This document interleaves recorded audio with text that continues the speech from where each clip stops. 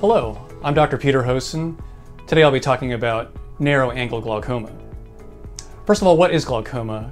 Briefly, glaucoma is a disease of the optic nerve, typically associated with elevated eye pressure.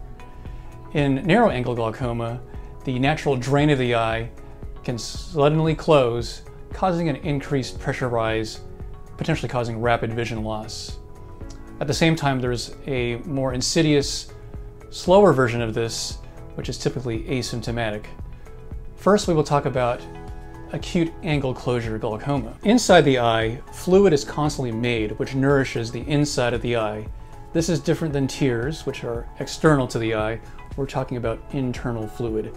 And that fluid is made by a gland behind the colored part of the eye. Without you knowing, as you know, light travels this way through the pupil, the hole in the iris. Fluid is actually going the opposite way on the reverse side. That fluid goes from the back of the eye to the front of the eye, where it is drained in the angle.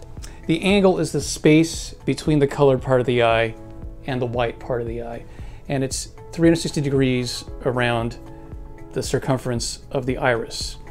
In narrow angle glaucoma, the drain between this space is narrow, blocking egress of the fluid to the natural drainage structure. If this drain were to close suddenly, the pressure would rise rapidly, vision would be affected, the eye would become very red, and the eye would become very painful. This is a very rare occurrence.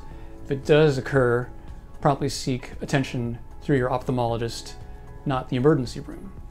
Who is at risk for developing this type of glaucoma? Typically, it is a far-sighted person. A far-sighted person has an eye that is shorter than the average person, so it's the same amount of structures, except it's just tighter. Through diagnostic tests, a special contact lens is placed on the eye so that I can visualize this angle structure. If it appears critically tight, there's a simple laser procedure that can be done to prevent this angle closure attack.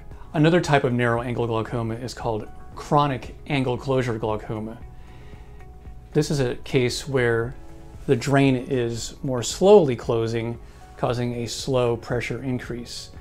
The diagnostic paradigm is the same. First, we check the eye pressure, but most importantly, we do the special contact lens exam that lets me look at the structure.